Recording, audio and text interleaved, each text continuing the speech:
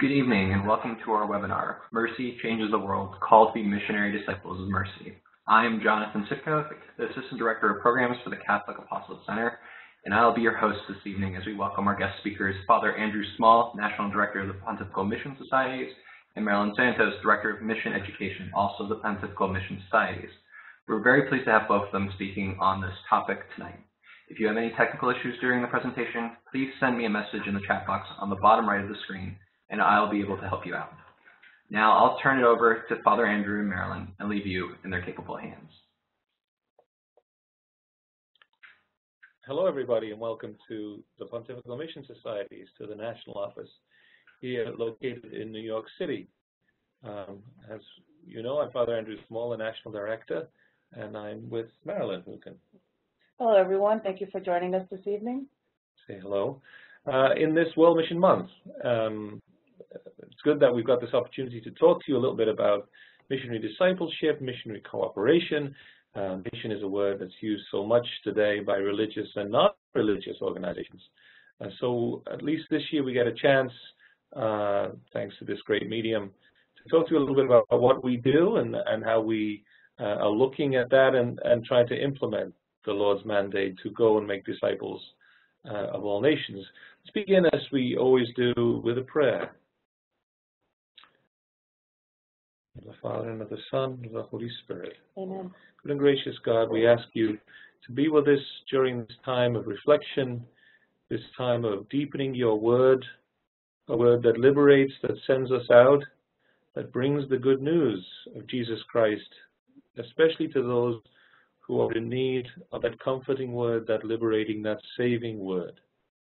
Make us faithful, make us worthy missionaries of your gospel, faithful in the one union. And to quote from the Holy Father's prayer for this year of mercy, let us pray. Send your Spirit and consecrate every one of us with its anointing, so that the Jubilee of Mercy may be a year of grace from the Lord, and your church, with renewed enthusiasm, may bring good news to the poor proclaim liberty to captives and the oppressed, and restore sight to the blind. We make our prayer through Christ our Lord. Amen. Amen. Father, Son, and the Holy Spirit. Well, it is. It's great to be with you here uh, in our national office, actually in the place that we call the Fulton Sheen uh, Media Room. Uh, many people will be familiar with the work and the life of the great Fulton Sheen, who was the national director of the Society for the Propagation of the Faith. Uh, and we'll get to that in a little while. It's one of the Pontifical Mission Societies. Uh, back in uh, 1950, from 1950 to 1966. So that explains some of the technical equipment you can see behind us where we keep that spirit of communicating the gospel alive. As we move through our, our presentation, just a, an initial word that we are the Pontifical Mission Societies. Pontifical in the sense that it's uh, an organization that is being given a specific uh, direction, mandate, responsibility from the Holy Father himself. Uh, we like to call him, and he is known through some of the documents, as our chief missionary. Uh, of course, Jesus Christ is the great missionary who came from the bosom of the Father uh, to us to bring us the good news. The Holy Father, as the vicar of Christ, as the successor of Peter, is the one who cares for uh, and perpetuates that mission received from the Lord himself to go out to all the nations and to baptize in the name of the Father, the Son, and the Holy Spirit. Holy Father has that mission and he delegates it in a very special way in its organizational capacity to us as the Pontifical Mission Societies present all over the world to bring that good news to those in the missions. Uh, and we'll get round in a little while to what exactly uh, that means. It's to make missionary discipleship the core of what it means to be church. The church is missionary by her very nature, as we're taught by the Second Vatican Council. What does that mean? It means that we are constantly finding ways to bring that good news to others. And the church has a very concrete, visible sense of reality and of community, uh, brings that to people all around the world. The Pontifical Mission Societies is being given the job to coordinate that role. We're certainly not the only ones doing it, uh, since bringing the good news is the obligation of, of every baptized Christian. Uh, we have a particular role in focusing on that, intensifying it, and trying to constantly keep us in touch with those various units and places where the sacraments are celebrated, where the good news is preached. We do that principally in two fundamental ways, through the, the, the, the gift of prayer, uh, promoting that and stimulating that.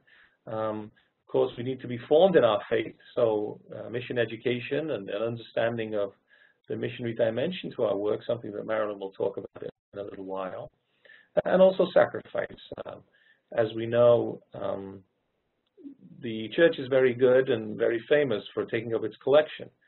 Uh, ever since that early church, uh, there were squabbles, but also there were great debates around how we can keep our mission going in a very concrete way. So supporting the missionary work of the church and missionaries, uh, particularly those in places of poverty, those on the peripheries, is a big part of what we do. Most of it still is directed towards uh, the youngest, younger churches, uh, even though I'm sure they don't feel so young, uh, mostly in Asia uh, and in Africa. It's where generally the church would be a little uh, on the weaker side. it wouldn't have enough personnel, enough structures. It's still depending a lot on what comes from outside. The church does so much good, but at the end of the day, remember it's just the church. It's not a non-government organization. Uh, the church, as we will see, has uh, many, many people and places and a tremendous reach amongst the most needy in our world. Uh, it can't do that uh, if it's not fully the church, if people aren't convinced of and taken over by the power of God's word in their lives. So we're not a non-government organization, we're not uh, a charity just engaged in humanitarian work. Uh, we are the church doing what the church is called, is called to do, uh, to bring glad tidings to the poor, but also to bind up those who are broken, to lift up the weak, to to educate those who don't have access to education, all the good things that make us fully human. But it's done exclusively with church personnel. So you'll see a lot of photos of uh, religious sisters and priests and lay catechists. Uh, the church being the church, we should like to remember that, where we distinguish ourselves from being a, uh, uh a private voluntary organization or a charity or those who are doing other good works, but are not apprised with the need to fundamentally proclaim the gospel and to witness to it all over the world. You might wonder what exactly it is that the church is doing. And I was talking to somebody recently who said we need to get our message out more. The church does so much that is wonderful around the world, and it's not often very obvious and evident, especially if you're speaking to folks who uh, don't know so much about the Catholic Church, they would be surprised and wide-eyed to see some of the numbers that you might see on the screen right now. 71,000 kindergartens with over with nearly 8 million pupils. This is the work of the mission church, primary schools, secondary schools. These are run by dioceses, religious sisters, religious priests associated with Catholic institutions. And we, as the Pontifical Mission Societies, are basically the primary supporter of them through the annual funding that we're able to do and to distribute. Of course, they have their own channels of funding at this stage, and we encourage them uh, to look for other sources. But some group within the church has to be the core supporter, the core supplier of the material help that uh, that various parts of the church needs, particularly in education, healthcare, in outreach in times of emergency, all done through religious personnel. As you can see, social service centers, healthcare, uh, with lay missionaries numbering almost uh, 365,000, 363,000. Uh, a huge amount of folks who have heard the call to spread that good news and to make God's kingdom real around the world the church can do wonderful things, as we know, but it can't do anything if there's no church. And so we are responsible for, as is every uh, baptized Catholic, for ensuring that that mission of God's uh, salvation is not just affective, it doesn't just uh, take over people's hearts and minds and make them convinced to be missionaries, but that it's effective as well, that we have ways of making that concrete in today's world. Here's just a few little examples of what goes on in the 1111. Yes, I checked it. It was 1111. We didn't just uh, keep hitting the one on the uh, on the computer uh, keyboard. That's the number of mission dioceses and archdioceses around the world. Um, all of Africa, most of Asia, uh, some parts of Latin America, and other parts of of, uh, of Europe. Um, and I'll explain in a little bit how those dioceses are selected, but they're the ones that we're responsible for reaching out to and knitting together the fabric of the church's life. You saw that, for example, in in uh, in Western Kenya, there was a a, a huge uh, uh, drought, as there often is, and lots of uh, aid came in, and folks were very generous, and governments were very helpful. But oftentimes, the ability to reach those folks and to be there before the crisis and after the crisis is not always uh, very common and very easy. Uh, you saw the sisters there. Uh, we had a collection for them, and they were able to support very concretely the people that they felt were on, on the outs and not uh, being uh, taken care of, uh, helping children in the after-school programs, etc. another little example is the what we might call the persecuted church. Those places where the church is not able to um, preach the good news freely, uh, and we saw in various places, uh, most recently in Vietnam, where the church continues to have its uh, its wings clipped or its abilities severely hampered by government regulations. Um, how those who are committed and are seen as as uh, missionaries of the faith, missionaries of mercy, are able to continue that despite the difficulties and support uh, baptisms of hundred thousands of Catholics, 1,500 seminarians are in training. As we know, oftentimes where there is great suffering and persecution, there'll also be a great flourishing of the faith. Um, so we'll, we see that uh, in, in Vietnam, which is very much a place of persecution, but but also a great light. Um, the church obviously spreads the faith, uh, educating parents baptizing their children, celebrating the sacraments, preparing people for, for communion, confession, um, preparing couples for marriage, uh, being there uh, at times of difficulty, but it's also, as we know, uh, a very concrete um, uh, presence in the world uh, with its establishment of, of schools and clinics and hospitals and centers of of welcome for refugees and, and, and supporting immigrants and those who are, are left out. That's where the church will be. You see some statistics there, particularly around the role of the church amongst uh, people who are blind. Uh, not only in a random way, but then we will have very specific religious orders, groups of men and women from various countries who will emerge and they will take up that apostolate in a direct way. This is something that's well known to many of you. The Pontifical Mission Societies as such, and there are four of them, um, they are called the Society for the Propagation of the Faith, which is responsible for all of those 1,111 dioceses and their internal workings. We have the uh, Missionary Childhood Association of Children Helping Children, which is to foster that missionary uh, spirit amongst um, amongst younger people. And then we have um, the Society for St. Peter uh, the Apostle, what they call for native clergy, which was to support the formation and development of local seminarians from the local cultures, and also um, uh, local religious vocations, many, many local religious sisters who also uh, are, are there being, uh, being formed because of the great support done.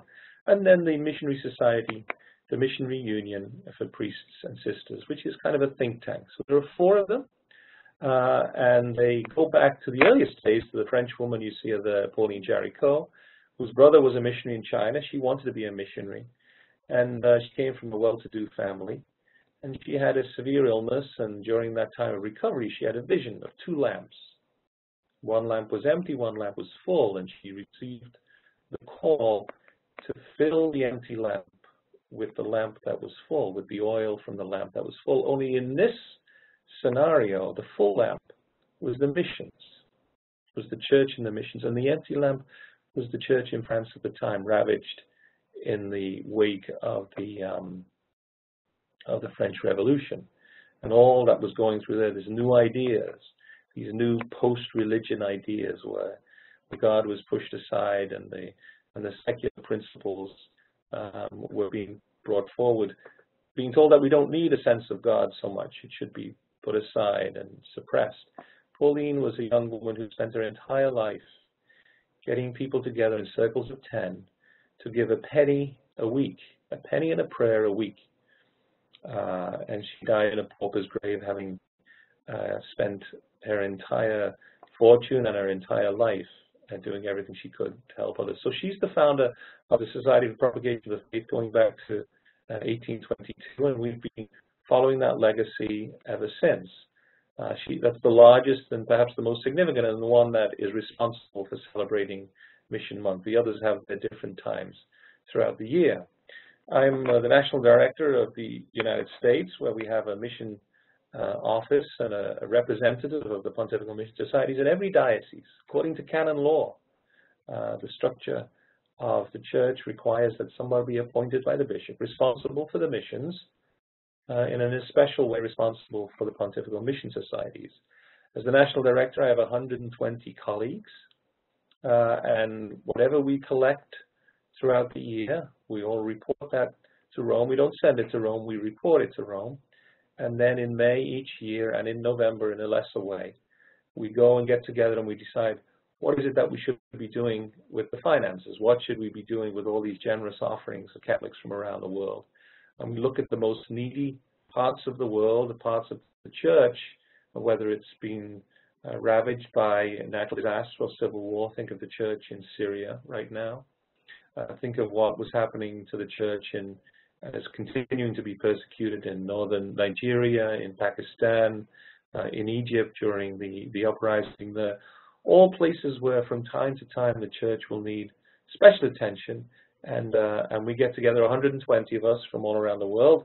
Uh, and as I say, there's one in every diocese, a, a, director in every diocese. I'm going to hand this over to uh, Marilyn now, and she's going to. Uh, you can hear a different voice for a little while, and uh, she'll tell us a little bit more about, about the work that we do. Great. We just thought we were going to have a little poll here, so we want to hear from, from you all who are on live with us. If you see on your screen, um, Joe has put it up. What role do you serve? Oh, actually, that is not our poll. Um, okay. That is the poll. That is the poll that you had for the, I guess, the World Youth Day webinar that you had. Okay, uh, human error. So we will see um, if Joe can find our poll, and so that we don't, we, we will move on for there. Why don't we? we? Can, we'll move on, and then we will um we will get come back to the poll. So I'm going to actually uh, hand it back to Father. I know that he um, he spoke a little bit about World Mission Sunday, which is coming up really soon. So that's a very special day of the year for us, especially as members of the Pontifical Mission Societies. So, Father. Sure. Yeah. Thank you. And you see the the title of this year's uh, World Mission Sunday, um, which is Mercy Changes the World, and it's based upon this year of mercy, Jubilee year of mercy that the Holy Father has called for us. Um, mercy changes the world, and it's celebrated in the second to last Sunday in October, October, which this year is, if I'm calling correctly, it's October 23rd. October 23rd. So that's World Mission Weekend, let's say, and there's a special collection, and hopefully the uh, folks in the parishes and schools will talk uh, in a special way about um, World Mission Sunday, and we have a collection, and we're very grateful for the donations that come in at that time. There's a second collection. Uh, as we know, they come up very often. Well, this one, uh, this time of the year, is for the missions around the world. The Holy Father this year sent a message, which I encourage everybody to download, um, in which he talks about the importance of mercy.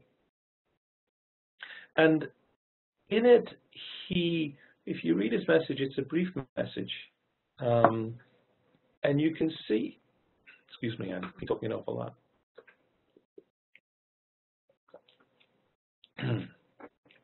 you can see that he, he looks at the word mercy in its origins, Hesed, and he says that the word mercy has a very special place in the relationship between a mother and her child, the child within her womb. That's how she feels towards that child. It's a very strong image. Uh, the Holy Father speaks about this maternal uh, image of God. Uh, God as not just Father, which is the traditional sense, but also the maternal, motherly sense of that child that the mother never forgets within her womb.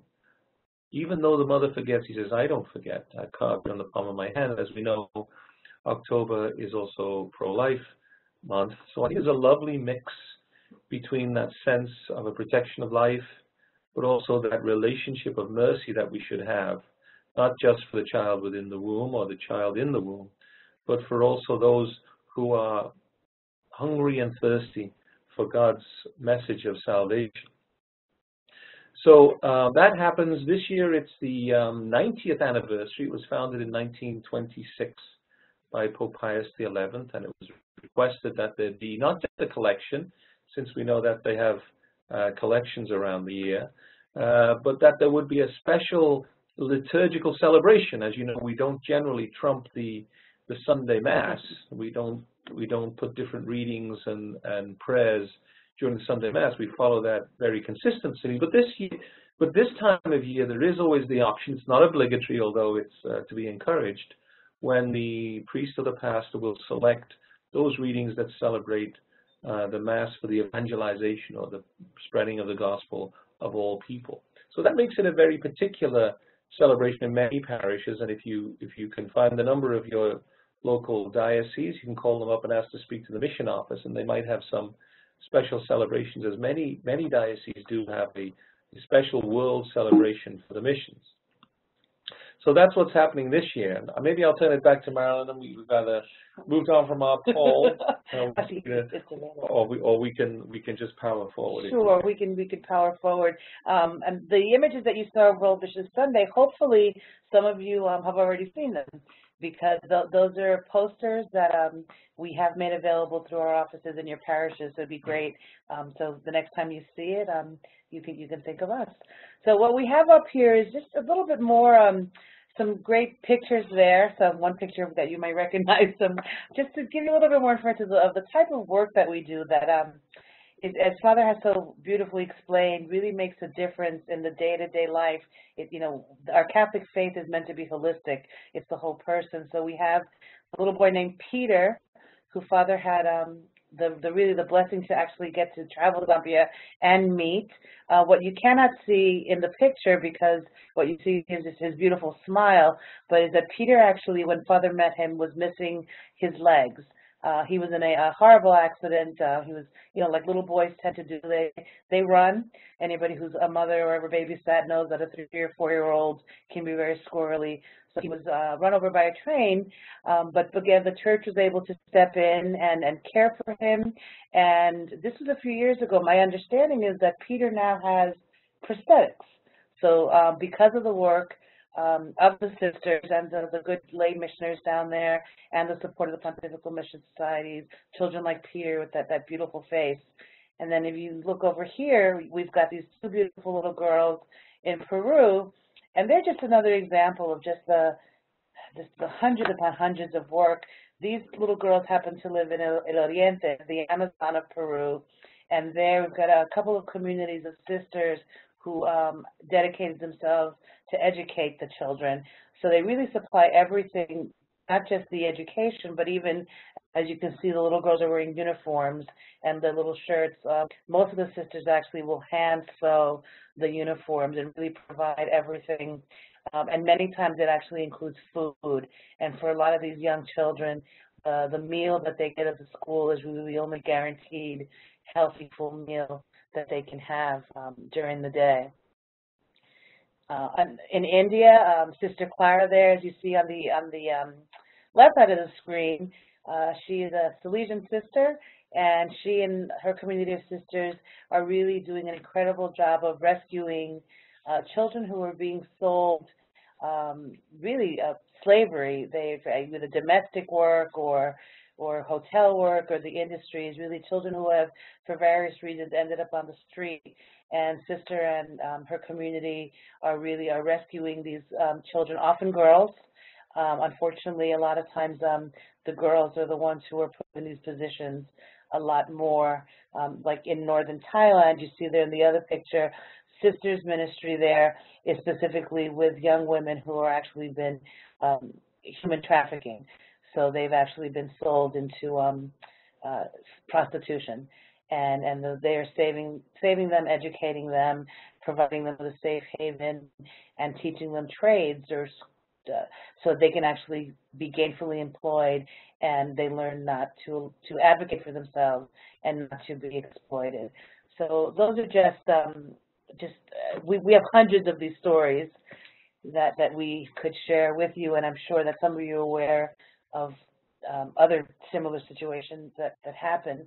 What we have on the screen, though, I'm just curious, those of you who are on, I know that the, the title of this webinar includes missionary disciple. I think that um, most of us, if, if, we could raise our hands, have been hearing this uh, particular terminology perhaps a little bit more than maybe we did 5, 10, 15 years ago. So I, I would love to open it up just for a few moments. Um, if some of you, as can use your chat feature, or if you want to um, open up your microphones. Um, how, what is a missionary disciple? If, if so you were put on the spot, you know, like some of these late night shows where you know the roving reporter were to ask you that question, um, how would how would you answer that? Give you a few minutes. Don't be shy.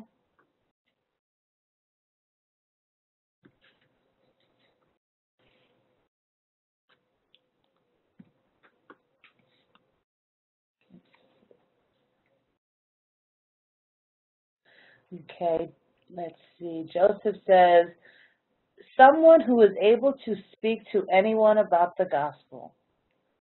And remember, there are no right or wrong answers, so this is not a test. Anybody else have something that they'd like to contribute? Or respond to Joseph? Let's see. Sarah has said, someone who acts on their faith daily, it's not something that is done merely in the church building. Excellent.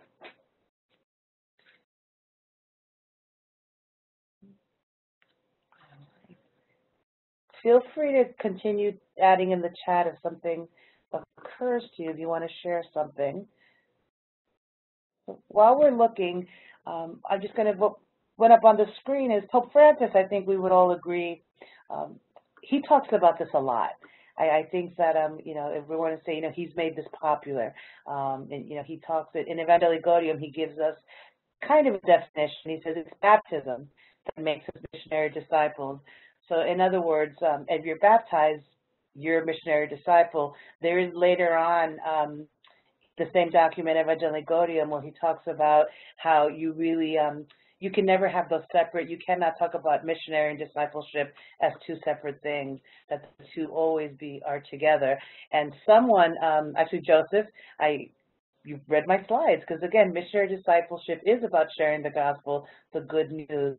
We have Lisa um, Gomes who said, uh, someone who is a witness to Jesus. And that is her, her sharing. The Pope in that same document also, he makes quite a statement here. I know when I first read through it, I read this quite a few times because I thought, you know, this is quite a, a huge challenge that he's putting forth for us when he says that he dreams of a missionary option. In other words, uh, I'm going to paraphrase it, really everything that we do, say, the, the lens we look at the world should be through this lens of looking at it as a missionary. And he firmly believes that that is what's going to help us, uh, enable us to, to change to world, to change the world.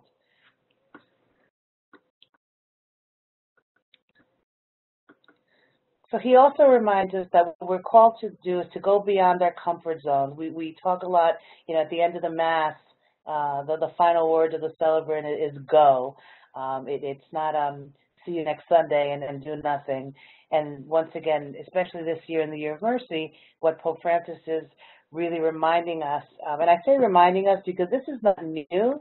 This is a, as a faith. This is something that uh, we've always believed in. It's always been part of our, our core beliefs. But particularly Pope Francis is really doing um, a, a, great job of, of reminding us really explicitly that when we go out, we have to remember that we do it with mercy, that we don't go out judgmentally, that we just go out with open hearts and open hands um, and, and receive and, and see how we can, as some of you have said, you know, how do I witness to Jesus, it's in the way I, I treat others. So then we know this. I'm sure that a lot of you who are on the call um, have had these conversations, you know. So then what it comes down to is, well, then how do I do it? How do I teach it? How do I get other people or animate our communities um, to live out this missionary discipleship, especially our young people? Uh, we know that you know we, we've heard it's they're not just the they're not only the future of the church, they're the actual present. So when we work with young people, you know, one thing is to know. Now, how do I get them to not just know it in their heads, but to know it in their hearts and actually uh, have it become an integral part of, of who they are? So I thought if we're going to talk about young people, let's just look at some facts about, well, who are they? You know, we, uh, we hear a lot of talk about them. Uh, I noticed um, there's even a bunch of new TV shows that are out that are talking a lot about this millennial generation. But let's just get an accurate snapshot of them. So there's a bunch of little facts there. You know, that they're diverse. Um, family is important. They actually, um, they call it the mirroring with their parents, that there's a lot less conflict. They, their, their core beliefs, um, uh, what, what they stand for, including religion and all sorts of social factors, tend to be pretty much the same as their parents. Uh, they do, um, the way that they socialize is different. Um, they don't tend to think long term. So, and, and I know that we've experienced a lot when it comes to jobs. You know, this is a group that doesn't already, I'm going to take this job and I know that I'm going to be here for 5, 10, 15 years and this is my career. They do that. But they're very um, self-motivated. They're doers. Uh, unfortunately, obviously, part of that has also led to a decline, and um, we've all heard about the nones which we know one in three of 18 to 29 year olds do not affiliate with a an organized um, denomination. Uh, they consider they believe in God. Uh, they do um, they self-report that they actually do pray, but they um, have decided that they're not going to affiliate with um, uh, a, a specific denomination. Um, they see being religious as a choice as opposed to some of us that, are, as our faith was handed on to us by our parents, um, it wasn't ever a question. Of course, I'm born Catholic, I'm always going to be Catholic. They also see any service as a choice, um, but they actually um, when asked about religion, even the nones, they, one of the most positive things that they correlate with people who belong to denominations is the service. Uh, obviously, they, their friendships are important. Um, and this is the group that sometimes we make fun of them because we say everybody gets the trophy. But the, the, the positive side of that is because they see success as a group that's more important to them as opposed to um, I won and I'm the one who's getting the gold medal. And of course, technology makes them extremely unique. Um, CARA recently did a poll. I, I, know when I saw some of these numbers, I actually um, was a little surprised as well. Uh, almost half of them have volunteer, and almost, again, half of them also said that helping the poor was very important, and they also list um, that it's what it means to be a Catholic.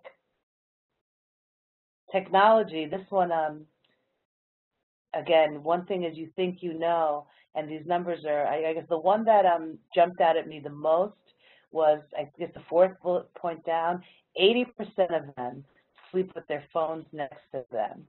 Um, an average person checks their phones about 100 times, 110 times a day. And for those of you, I know some of you were probably at World Youth Day, or if you weren't there, you were following it online. Um, people who were there, the young people, they used 12 social media platforms. So we definitely know that, you know, it's not just seeing them on the street. The pictures there actually from, uh, from Krakow.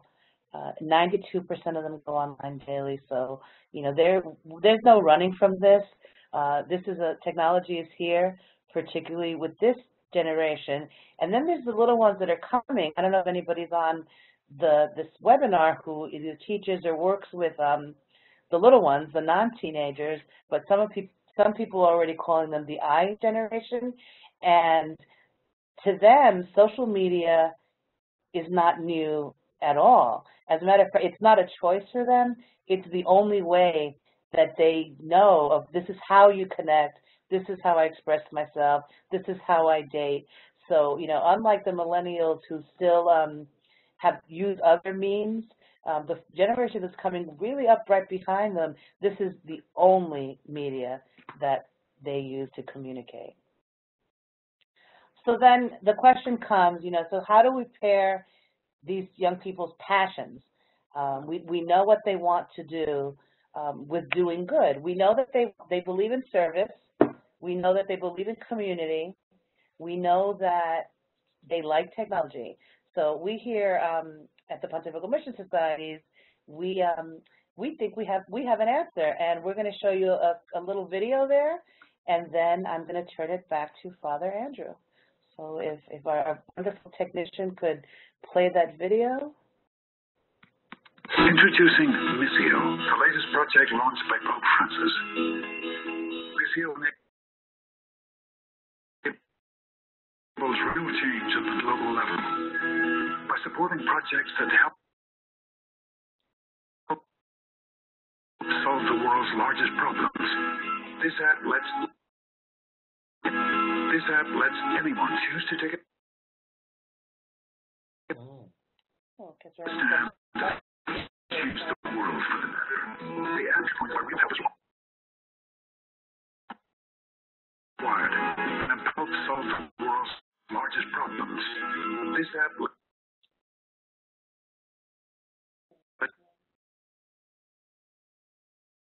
lets anyone choose to take a stand and change the world for the better.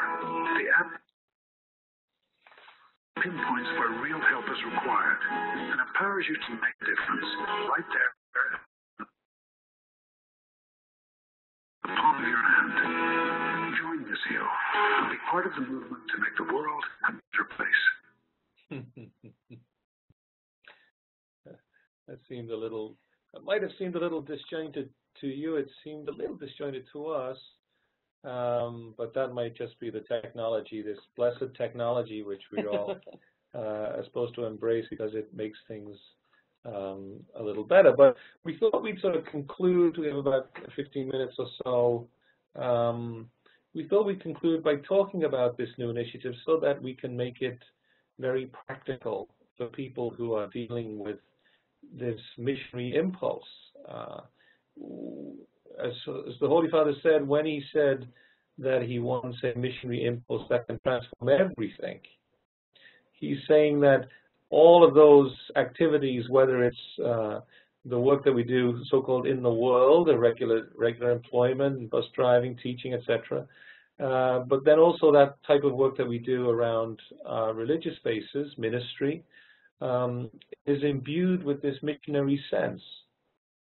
And what is that? That's obviously a, a going out of oneself, uh, like as I said, as the Lord left from the bosom of the Father, and uh, the Word was incarnated, made flesh. That's that. That's that missionary moment, right? That when the when the Son was sent by the Father, right? and the love that bonds them, and the power of the Spirit. That the the notion of being sent and being missionary originates in the life of the Trinity itself, which is made real and manifest in the work of, obviously, the work of Christ and his ministry and his life, his death, his resurrection, that gave birth to the church and that finds its uh, privileged moments in the celebration of the sacraments. This is, this is what we know. But its original impetus is this, this missionary impulse, uh, which comes from the mind of God, and something which we share in, as Marilyn, Marilyn explained, uh, the importance of missionary discipleship. The good thing, I think, for that generation, the ones we just spoke about a little bit, is that it can be oftentimes enslaving if we're told that we have to settle uh, all the problems ourselves. We have to figure out our life for ourselves. And we know that that's not what it means to be a disciple. Obviously, we're a follower. But if we are sent, when we're sent by Jesus, when we're called and sent in our baptism and in the sacraments, then we are sent by another. So we are dependent constantly on that other who is the source and the summit of our life, but also of our unity. Without Christ, uh, our life ceases to make sense. And that sense of community, whether it's in marriage or in family or in church or in group or in nation, uh, can quickly break down without those bonds. We have uh, a, a, theological understanding of that that we call the body. We are members of the one body, even though there are different parts. We are all members of the one body. Uh, and that connection, as we just explained over the last 45 minutes or so, spans the entire globe and spans the centuries. When you think about the activities of missionaries here in the United States, we were just talking this morning about the role of Mother Alfred when she went to Dr. Mayo, which is a name that might be familiar with many people. Uh, and she said, uh, we need to, to open a hospital here. And he poo-pooed and said, no, sister, you're a, you're a teacher who's become a, nurse, uh, and you don't really understand this, but uh, if you go and get me $2,000, and sure enough, within a couple of months, she came back to Dr. Mayo, and St. Mary's Hospital was founded, and then the Mayo Clinic, which is one of the finest uh, health centers in, in, the world. And we forget that the impulse, I think, and I would argue, was that missionary impulse of Christ uh, who sees the crowd like sheep without a shepherd, or the mother's relationship with the child within her womb, this hesed, this mercy, this sense of being moved to go out of your own comfort zone. The sisters in Rochester, Minnesota were teachers. They were trained as teachers, but they knew the need uh, was as nurses, so they retrained. And we see that all the time through the history of the church.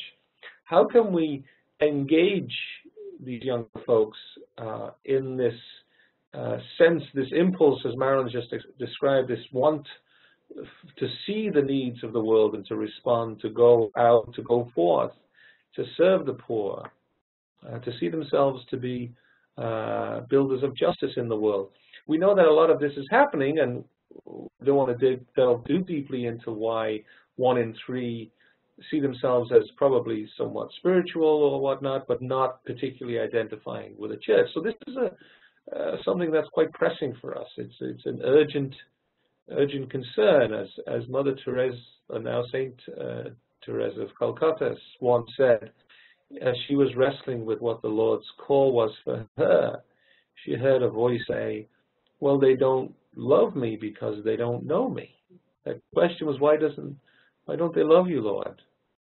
And the answer was, they don't love me because they don't know me. So we should feel that uh, that call echoed in the life of uh, of Mother uh, and so many other missionaries, and today witnessed by so many other missionary martyrs, as urging us on in a in a in a, in a sense of of urgency. You know that we we have heard this call and we have been uh, commission to bring that to others. So what we're proposing is to use something uh, that we've been given, for good or ill, uh, a blessed connectedness. Uh, it's what we're using right now, if you can imagine, uh, to speak to you good folks and for those who will see it hopefully afterwards. They can just click and download or stream. it's just a remarkable turn of events, which for we who believe in the connectedness of sacraments, faith, even prayer, so we're not even connected.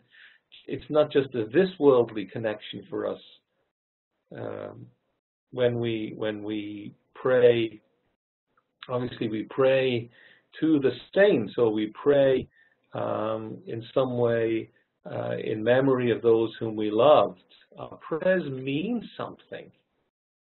Right? The content of our faith life has some consequences in this world and in and in and in the heavenly world.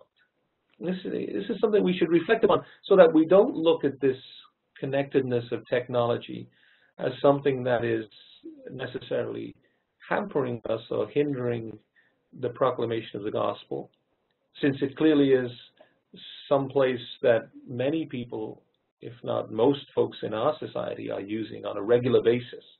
And, and that's not going to go away. So we have a, an obligation to ensure that we are constantly being evangelized by the Spirit who calls us uh, and asks us to recognize the signs of the times, but that we are evangelizing, right? So we don't just accept things as a fait accompli.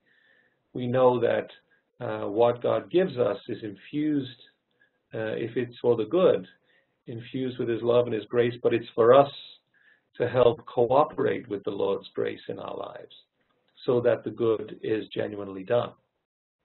In a very practical way, we uh, last year launched a, a digital app and application that you can download called Missio, and you can see the uh, little sign there. The thumbprint that you see. And if you go onto the website missio.org, you'll be able to uh, watch that video that at least here we saw a little bit uh, broken up because maybe our maybe our bandwidth isn't that, that good, Marilyn. I don't know what it is. It wasn't buffering. But you'll see the missio. Missio is the Latin word for mission. Uh, it's a word that we're using more and more in our in our literature, simply because we think it's a very accessible one, and it's a word that describes the pontifical mission societies in many other countries around the world.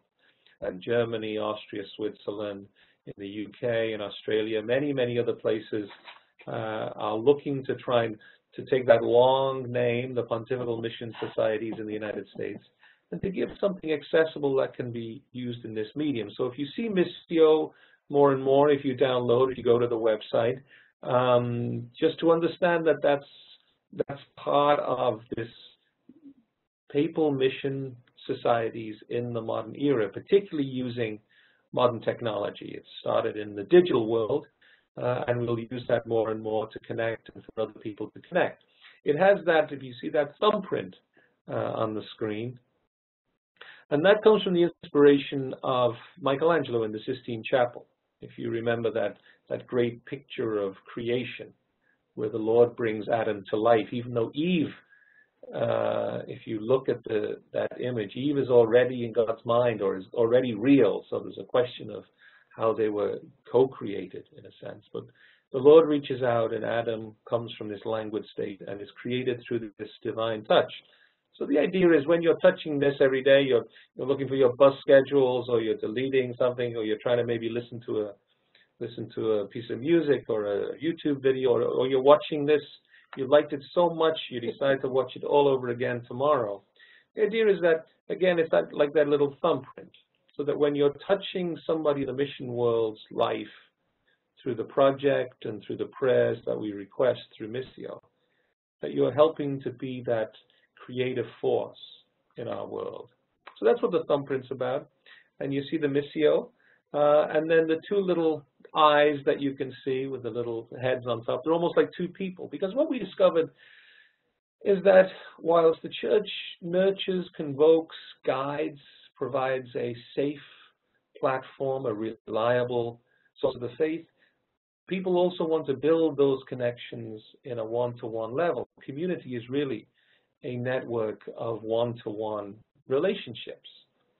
Oftentimes pastors will see people on a Sunday that come to Mass uh, come with a family of two or three, but it's often very difficult for those folks to engage each other unless they have volunteers for Thanksgiving or somebody's in uh, catechetical preparation. It's very tough to build that tissue and network.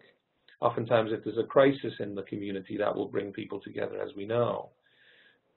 So we're recognizing that community is a series of one-to-one -one relationships, and we're, we're, we're not fooled in thinking that there's anything magic that this new technology has brought. Ultimately, the human has to reach out to the other human. We have to be touched by one another, uh, comforted by one another, challenged by one another.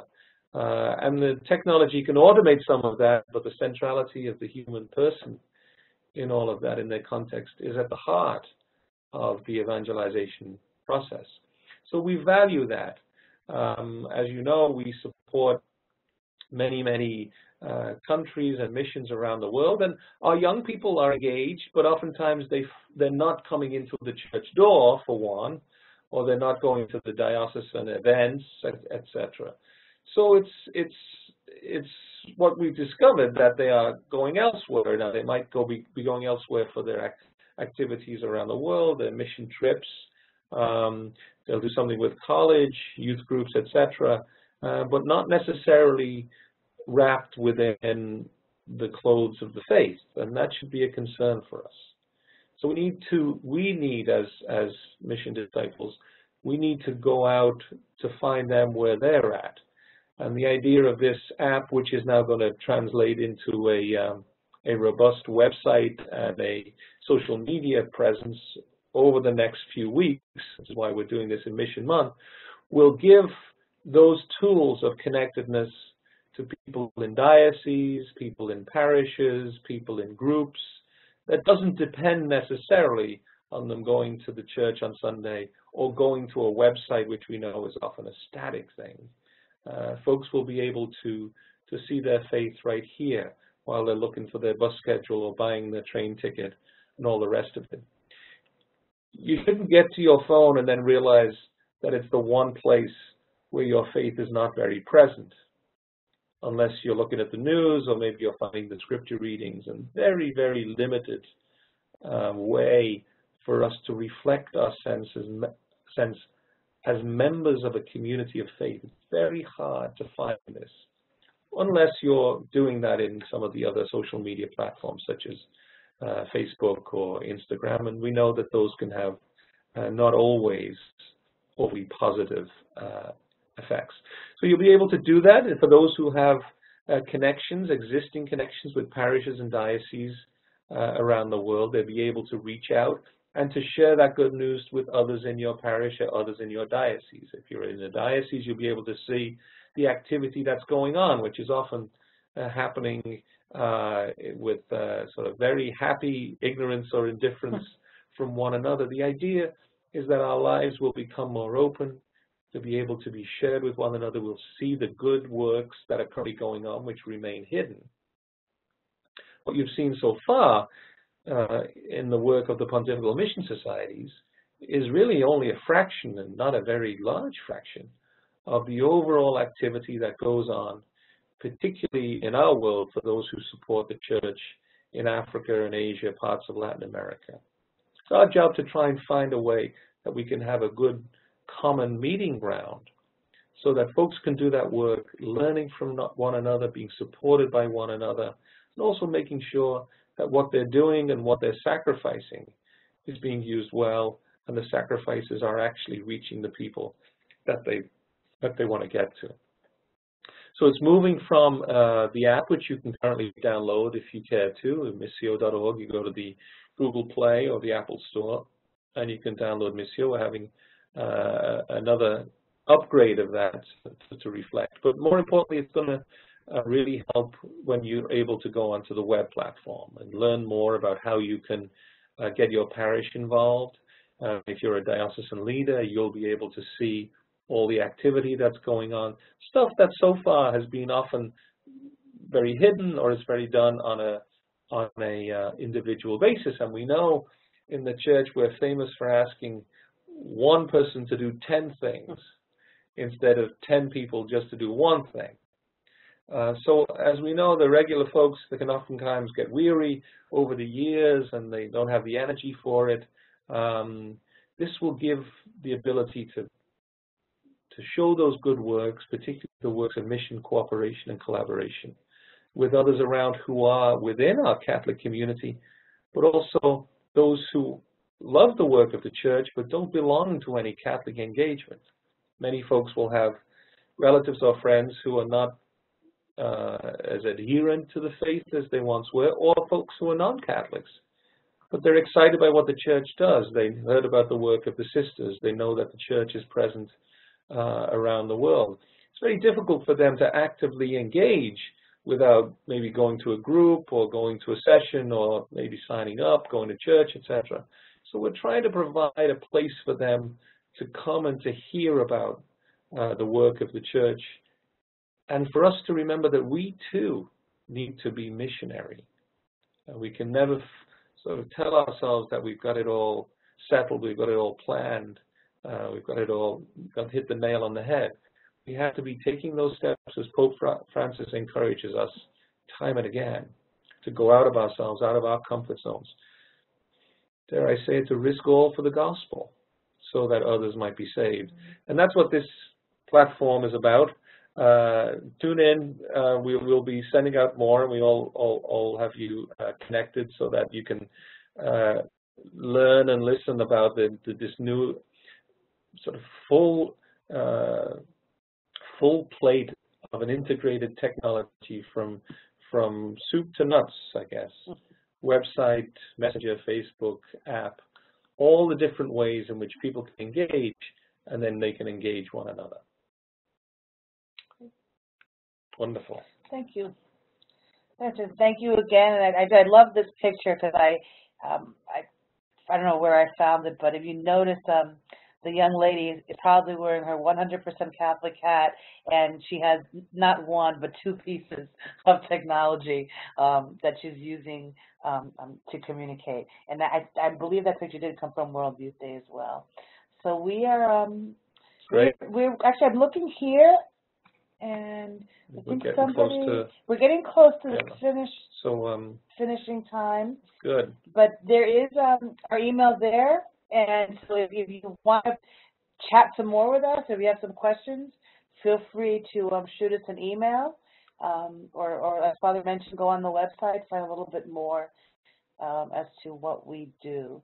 Uh, Father, if you wanted to just have some final words. Sure, we're getting very close to the end. So uh, just wanted to thank you all very much for the time. If you've managed to reach all the way to the end, uh, that's that's good. You get special uh, special graces and favors uh, for that. And we uh, are just offering this initial introduction for us, and uh, and hope that you will uh, take the time to visit missio.org. Uh, as that becomes more and more present, sign up, and we'll we'll give you all the updates on how that rolls out. Um, at the end of Mission Month, we don't want to crowd out World Mission Sunday on the 23rd, but so that you can take Mission Month and Mission Sunday from being just one celebration a year to all year round, so that we can all take that missionary impulse that people are hungry to show, especially our younger people, and to make it real. Good and gracious God, we thank you for this time. We thank you for your gifts and blessings.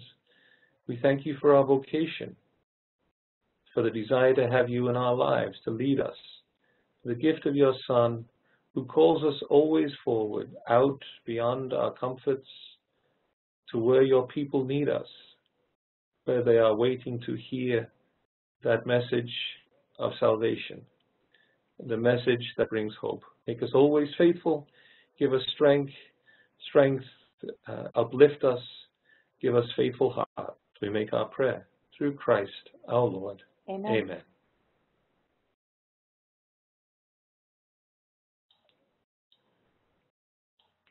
Thank, thank you again, Father Andrew Small and Marilyn Santos for presenting, and thank you to everyone who tuned in and joined us this evening. We'll have a recording of this webinar uploaded to our YouTube page uh, in the next week, so keep an eye out for that, and also on our website, catholicapostolatecenter.org for the link. You're welcome to share with anyone you'd like. As always, all of our, all of our content is free to share. If you haven't yet found us on social media, please like or follow us on Facebook, Twitter, and Instagram in the hope that we'll continue to reach more people with spreading the message of the gospel. In the words of our, of our patron St. Vincent Pallotti, may the charity of Christ urge you on. Good night, and God bless.